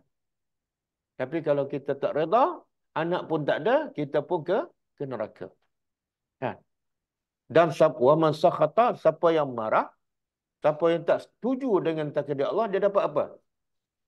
Kenapa aku nak marah? Dapat kemurkaan Allah. Satu kerugian yang besar. Barang dah hilang. Anak dah mati. Dapat pula musibah lagi besar iaitu kemurkaan Allah. Jadi tipsnya pertama kita kena belajarlah kisah-kisah para nabi sebab mereka lah contoh terbaik dari segi sabar. Yang kedua kita kena tahu apa kelebihan bila kita bersabar. Kita dapat apa? Dan kita kita bila kita tak sabar kita dapat apa? Comparekan. Kalau aku sabar dapat apa? Dapat redha Allah. Dapat pahala tanpa hisap. Kalau aku tak sabar dapat apa? Barang yang hilang tak dapat balik. Hati tak bahagia. Betul tak? Tak ke mana pun. Okey? Okey, wallahu alam. Ya, jazakallah khairan Ustaz. Uh, tadi Ustaz sebut tentang apa uh, berdakwah kan bagaimana Nabi SAW dapat kekuatan daripada Qiyamul Lail untuk berdakwah kan. Jadi um, yang berada di apa uh, live Facebook ni mungkin orang awam ataupun yang baru nak berjinak dengan aktiviti dakwah dan sebagainya. Jadi uh, aktiviti dakwah bagi orang seperti kami ni macam mana Ustaz? Oh. Okey, Nabi sebenarnya dakwah ni uh, senang ke susah? Senang ke susah? Dia Allah kata inna sanulqi alaika kami akan campak pada engkau perkataan yang berat. Betul? Jadi pada umumnya dakwah ni susah. Tapi Nabi dapat jalan tak semua kerja yang susah dan berat tu? Tenang tak hati Nabi? Sebab apa? Sebab apa? Ittakhaza Allahu wakila. Allah menjadikan Allah Nabi menjadikan Allah sebagai wakil.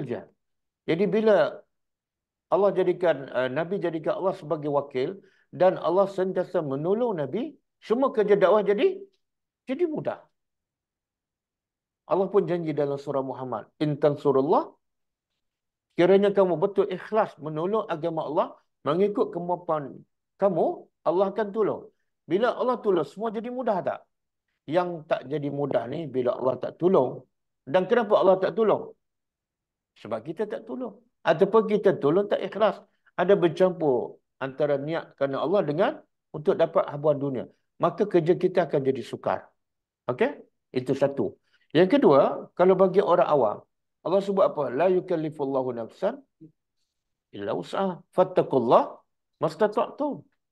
Allah tak akan bebankan mereka setakat yang kamu mampu. Buat yang kamu mampu je lah. Kalau kamu tak mampu berceramah, cakap dua tiga patah. Ha. Kalau tak mampu cakap dua tiga patah, tulis buku. Kalau tak mampu tulis buku, ajak orang pergi kelas. Kalau tak mampu ajak orang pergi kelas, kamu pergi sendiri. Dan Nabi gambarkan dakwah tu mudah, baligu ni sampaikan dari itu walau takkanlah orang awam pun tak boleh sampaikan satu ayat. Kan? Dan banyak cerita dalam Quran dan juga dalam hadis Nabi yang menggambarkan dakwah ni mudah. Contohnya jin. Bila jin pertama kali dengar, jin asalnya orang kafir. Orang kafir ni orang awam ke orang awam? Tapi bila kali pertama dengar ayat Quran daripada Nabi, apa jin buat? Terus beriman. Lepas dia beriman, apa dia buat? Falamma qudiya wallau ila qaumihim munzirin. Lepas beriman, terus dia balik pada kaum dia, dia beriman. Jadi mudah ke susah? Senang je. Kalau kita ikhlas, Allah akan bantu dan buat setakat yang kita mampu. Kadang-kadang kita beli buku paket bagi pada orang. Itu pun dakwah. Ha. Kita bagi link ceramah. Tadabur. Itu pun dakwah. Okey, wallahu a'lam. Okay, jazakallah khairan Ustaz. Sebenarnya banyak soalan yang ditanya. Uh, saya terpaksa pilih-pilih juga soalan yang berkaitan insya-Allah berkaitan dengan topik kita pada pagi ini. Um, dan ada yang tanya tentang sekejap ya saya tengok um, sebenarnya bangun bangun uh, yang Allah suruh bangun tu kan ya muzammil qumil laila illa qalila tu bangun untuk solat ke bangun untuk baca Quran sebenarnya dia kedua-dua ustaz kan uh, bangun Ha, ya, untuk dua-dua.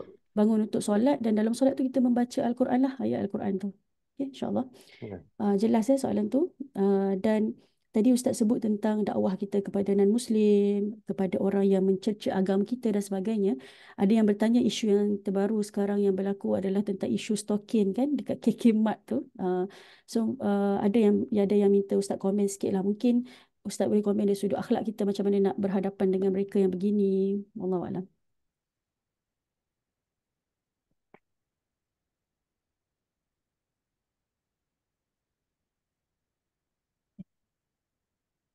Okey. Saya ada sebutlah dalam kelas-kelas yang lepas. Secara tak langsung. Macam ni. Dia soalan pertama. Antara orang kafir menghina kalimah Allah ataupun menghina Allah di zaman kita dengan orang kafir, orang Yahudi menghina Allah di zaman Nabi. Yang mana lebih parah? Zaman? Apa dalil? Ha? Orang kafir tak buat stokin tulis nama Allah. Tapi orang Yahudi menuduh Allah tu ada anak. Lagi dahsyat betul. Trinity kan.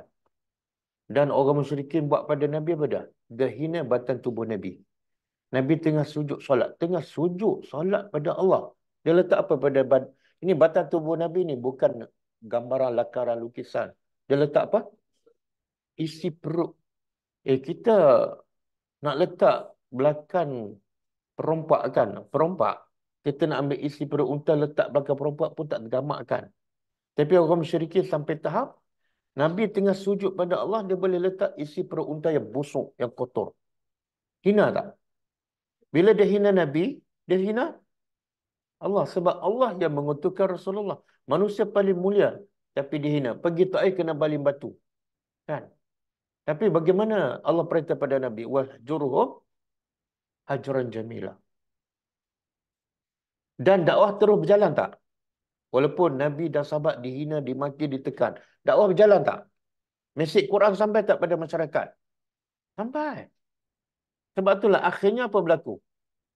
Islam tersebar. Di Madinah tertegak negeri Islam. Dan akhirnya Nabi balik semula ke Mekah dan Nabi robohkan semua berhala. Sebab apa? Dakwah berjalan.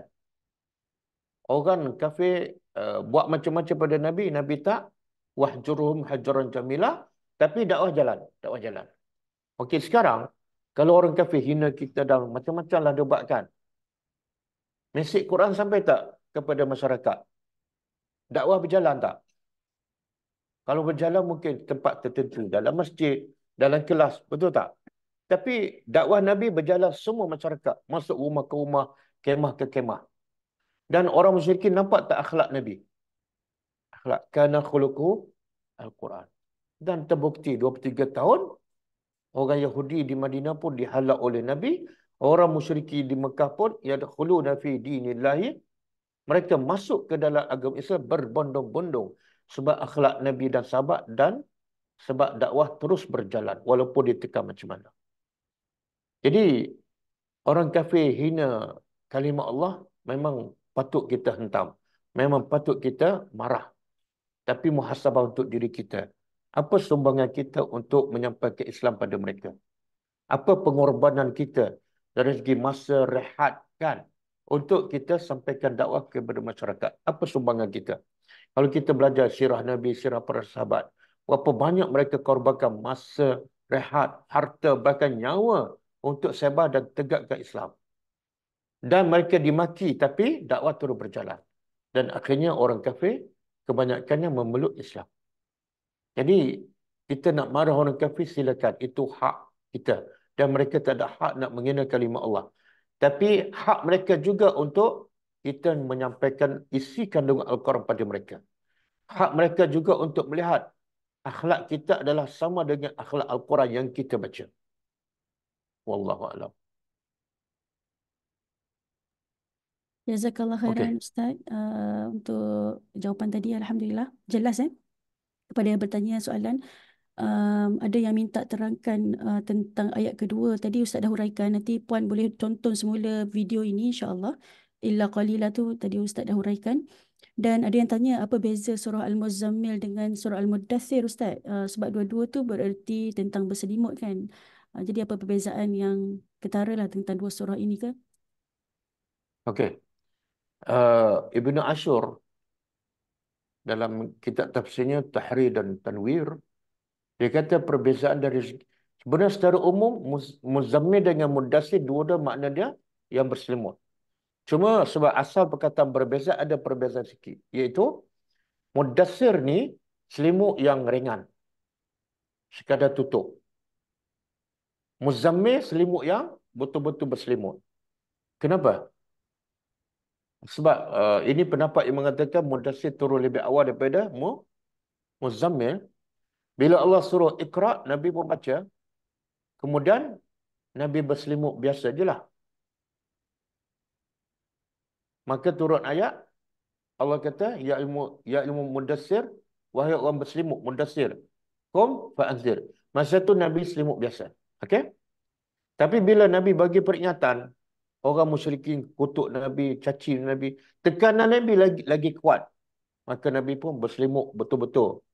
Maka turut ayat, Ya Ayyuh Muzammil, Kumil layla illa qalil. Bangun dan cari bekalan. Untuk kamu hadapi apa yang diucapkan oleh musuh. Wallahu alam. Ya, jazakallah khairan Ustaz.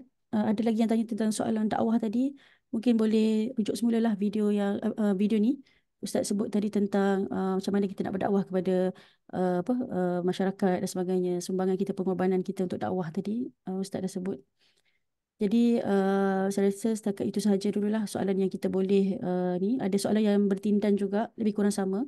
Mungkin Ustaz raikan satu lagi soalan aku insyaAllah tentang bagaimana tips untuk konsisten kita melakukan qiyamul lail dan juga tips untuk elakkan mengantuk ketika kita mengaji, kita solat dan juga betul ke uh, apa para para sahabat ke disebutkan dalam ni? Betul ke para sahabat dulu minum kopi untuk mereka stay up kan malam-malam? Uh, macam tu. Yang ditanyalah macam ni. So mungkin Ustaz boleh jawab yang tu yang terakhir lah insyaAllah. Hmm.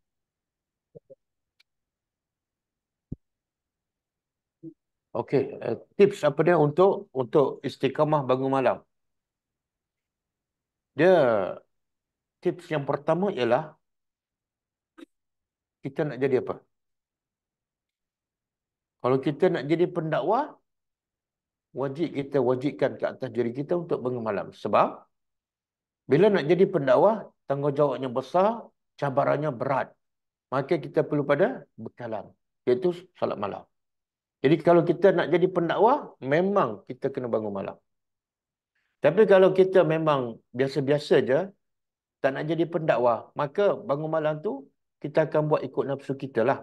Bila senang kita buat. Bila susah kita tinggal. Kan?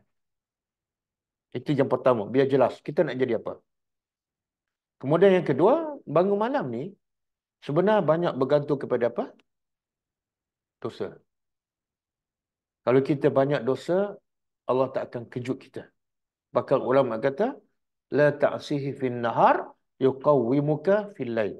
Jangan kamu derhaka pada Allah di siang hari, Allah akan bangunkan kamu di malam hari. Faham? Jangan buat maksiat siang hari. Jangan buat. Maka hasilnya apa? Allah akan kejutkan kamu malam. Makna apa? Punca tak bangun ialah dosa. Bahkan ada salah salih dia kata, disebabkan satu dosa, aku tak boleh bangun malam, aku diharamkan bangun malam oleh Allah lima bulan. Satu dosa, Allah haramkan bangun malam lima bulan. Jadi siapa yang buat dosa siang hari, tiba-tiba bercita-cita nak bangun malam. Batalkan cita-cita tu, bertobat dulu. Bertobat, istighfar banyak-banyak, insyaAllah, berazam, dia akan bangun. Allah akan kejut. Walaupun dia tidur lewat sekalipun, kalau dia berazam, dia ikhlas, dia bertaubat, Allah akan kejut dia. Walaupun dia baru je sekejap tidur. Okey? Cukuplah. Dua tips kan. Okey. Uh, dah tak ada soalan kan? Uh, setakat dulu dulu. Setakat dulu insyaAllah Ustaz. Jazakallah khairan uh, Ustaz Abdul Mu'in untuk penjelasan tadi. Sebenarnya kelas Ustaz ni kalau tiga jam pun tak rasa. Rasa macam beberapa minit je kalau tiga jam kelas kan. Ini kan lagi jam setengah kan. Uh, jadi sesi kita ni sejam setengah sajalah untuk My Tadabur Time. Alhamdulillah kita dah selesai siri yang keenam. Alhamdulillah My Tadabur Time. Uh, InsyaAllah kita akan ada berbaki lagi tiga siri insyaAllah pada minggu hadapan bersama dengan Ustaz Syari Abdul Rahman, uh, Ustaz Zulkhairi dan juga Ustaz Muzuza insyaAllah pada minggu hadapan. Jadi tadi antara poin uh, yang Ustaz sebutkan tentang surah Al-Muzammil ini mengandungi arahan Allah untuk kita buat persiapan untuk dakwah. Okay? Iaitu dengan mengambil ke- kekuatan daripada Qiyamul Lail. Okay? Jadi orang beriman ni sebenarnya tak ada waktu rehat untuk dia. Siang dia perlu sampaikan dakwah malam dia, dia cari kekuatan untuk berqiyamul lail eh? Ke, uh, mencari kekuatan uh, untuk berdakwah itu dengan melakukan qiyamul lail dan orang yang kuat fizikal dan rohaninya uh, orang yang kuat fizikal dan rohaninya adalah orang yang kerap berhubung dengan Allah eh? kerap solat membaca al-Quran dan sebagainya jadi orang yang bangun malam ni adalah orang yang paling ikhlas. Di saat uh, manusia lain sedang tidur, ya, sahabat-sahabat lain ataupun ahli keluarga sedang tidur tapi dia bangun untuk solat malam. Dan kemuliaan seorang mukmin tu adalah pada ibadah qiyamul lailnya dan Ramadan ini kita ambillah peluang secukupnya untuk kita melakukan qiyamul lail dalam keadaan dalam qiyamul lail tu uh, dalam tempoh qiyamul lail tu mungkin kita bukan solat saja tapi kita boleh juga uh, bersedekah pada waktu tu. Kita boleh membaca al-Quran kita boleh kejutkan uh, isteri kita suami kita dan sebagainya untuk kita berqiyamul lail dan 10 terakhir Ramadan kita disarankan untuk kita uh, beriktikaf di masjid okay? waktu iktikaf di masjid kita boleh berqiyamul lail baca Quran dan sebagainya insya-Allah. Jadi waktu Ramadan inilah kita cuba untuk uh, betul-betul um, korbankan waktu tidur kita ya. Moga-moga nasihat untuk saya jugalah. Uh, korbankan waktu tidur kita untuk kita berpenat lelah kan uh, supaya Allah bagi ganjaran uh, maghfirah syurga kepada kita insya-Allah. Jadi uh, saya rasa itu sahaja. Um, dan saya ada letak link ya di ruangan komen um, untuk bagi sesiapa yang nak dapatkan buku ustaz okay. buku ustaz boleh dapatkan di Ghulam Dakwah Shopee ya. Shopee Ghulam Dakwah Uh, antara kita mungkin ramai yang suka shopping di Shopee kan. Uh, so boleh shopping buku juga. Bukan sekadar shopping uh, barang-barang raya. Kita boleh shopping buku raya. Eh? Buku raya, uh, buku Ustaz uh, Ustaz Mu'in. Antaranya buku Tadabur Surah Al-Ma'arish. Ada Ustaz ada tulis uh, buku Surah Al-Ma'arish. Dan juga um, buku Surah Al-Munafiqun. Uh, dua ni lah. Yang dua ni lah baru, yang baru saya ada dan Uh, saya pun dapatkan dekat Shopee Ghulam Dakwah juga Alhamdulillah. Jadi tuan-tuan uh, tuan-tuan dan puan-puan boleh dapatkan di uh, Shopee insya-Allah. Uh, saya ada share di uh, di pin komen eh? pin komen alhamdulillah. Jadi boleh boleh tekan di situ insya-Allah boleh dapatkan. Jadi kita akan jumpa untuk sesi My Tadabbur Time uh, next nanti seterusnya pada uh, hari Isnin ni insya-Allah bersama dengan Ustaz Zulkhairi insya-Allah tadabbur tentang gambaran neraka dalam Al-Quran insya-Allah. Jadi um, uh, ustaz ada kata-kata terakhir ke nak beritahu uh, ataupun ucapan terakhir insya-Allah sebelum kita tutup? Ucapan terakhir. Selamat memburu Lailatul Qadar. Antara sunnah Nabi yang terpenting ialah uh, memburu satu nikmat yang Allah bagi kurnia khusus untuk orang yang bertakwa. Iaitu dengan beribadat satu malam, Allah anugerah umur selama 83 tahun dan semuanya amal soleh. Sebab tu Nabi nak mensyukuri nikmat Allah yang besar ini dengan cara Nabi berintikah di masjid selama 9 tahun. Nabi tak pernah tinggal. Sebab itu kata Imam Az-Zuhri rahimahullah, yang maksudnya dia kata, aku pelik kepada manusia. Iaitu, dia meninggalkan sunnah Nabi yang terpenting iaitu intikaf. Ada sunnah Nabi yang Nabi buat dan kadang-kadang Nabi tinggal. Tapi ada pun sunnah intikaf ni Nabi buat dan Nabi tak pernah tinggal sampai Nabi wafat. Menunjukkan sangat penting kita menghidupkan malam di 10 akhir Ramadan untuk mendapat Lailatul Qadar. Jadi siapa yang diberi Allah kelapangan, kesihatan, jom kita berintikaf untuk memburu Lailatul Qadar dan juga untuk menghidupkan sunnah Nabi SAW. Semoga Ramadan kita kali ini, Ramadan kita kali ini akan bertambah umur kita 83 tahun yang semuanya penuh dengan amal soleh insyaAllah. Sekian wassalamualaikum warahmatullahi wabarakatuh. Eh, jazakallah khairan Ustaz.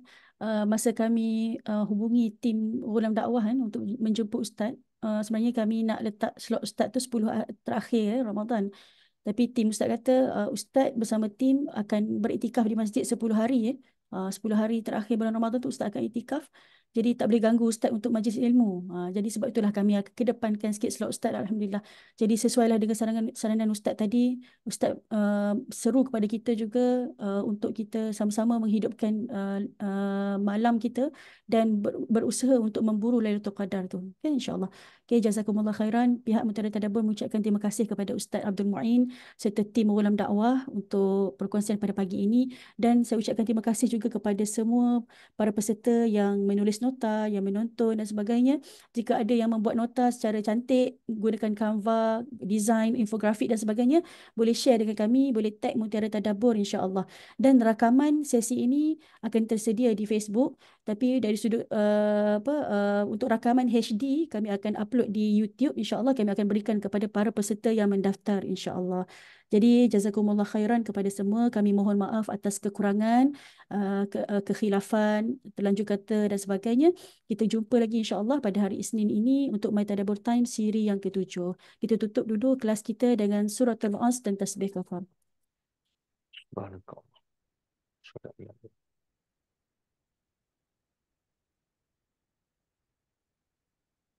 Ya, Assalamualaikum warahmatullahi wabarakatuh. Jazakallah khairan Ustaz. Wa an wa anti fajazakillahu khairan. Waalaikumsalam warahmatullahi wabarakatuh.